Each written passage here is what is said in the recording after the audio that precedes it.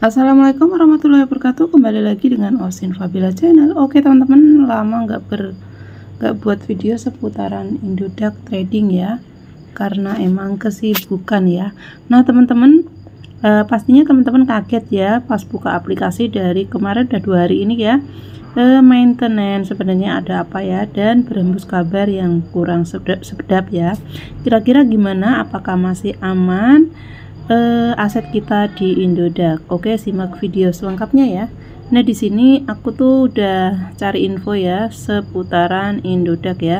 Dan teman-teman juga bisa mengikuti seputaran Indodax di Instagram atau di Facebook ya.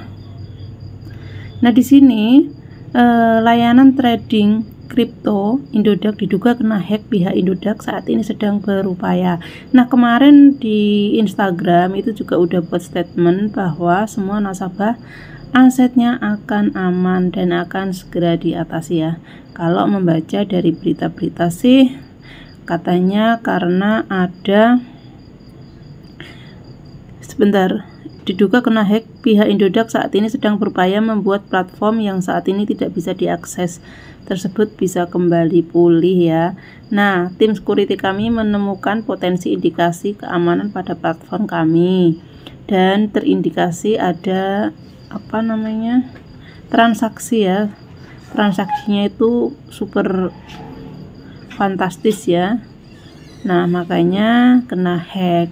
Tapi Pihak Indodax menyatakan bahwa semua aset anggota member yang ada di Indodax dipastikan aman. Nah, namun jangan khawatir, dapat kami pastikan bahwa saldo Anda tetap 100% aman baik secara kripto maupun rupiah. Kami berterima kasih atas kesabaran dan kepercayaan yang telah Anda berikan. Tulis Indodax ya. Nah, di sini udah dijelaskan proses ini dilakukan menjaga keamanan dan kenyamanan transaksi.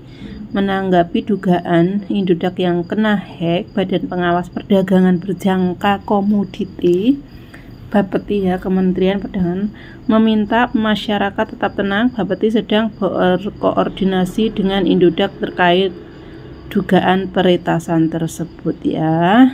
Jadi insya Allah teman-teman nggak usah panik yang uangnya ada di Indodax insya Allah aman. Sampai saat ini masih belum diakses untuk login ya. Jadi masih seperti ini. Kalau teman-teman mau nyoba buka di web kemungkinan juga sama masih aplikasi under maintenance dan sedang update sistem seperti itu ya.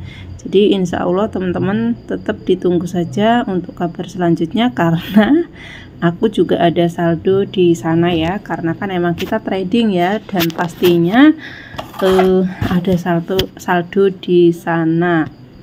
Apalagi kalau untuk pemula rata-rata kan menggunakan Indodax yang legal cuman kalau emang trader biasanya kalau yang sudah berpengalaman itu bisa menggunakan seperti Binance atau yang lainnya ya atau trading-trading forex ya. Itu Binance itu juga sebenarnya juga bagus ya. Oke jadi teman-teman nggak usah panik seputaran Indodax yang sekarang lagi maintenance atau lagi perbaikan sistem ya kita berdoa saja semoga cepat uh, kembali normal dan kita bisa trading lagi di Indodax ya. Oke salam trader buat teman-teman semuanya. Terima kasih yang udah nonton videonya. Sampai ketemu di next video. Wassalamualaikum warahmatullahi wabarakatuh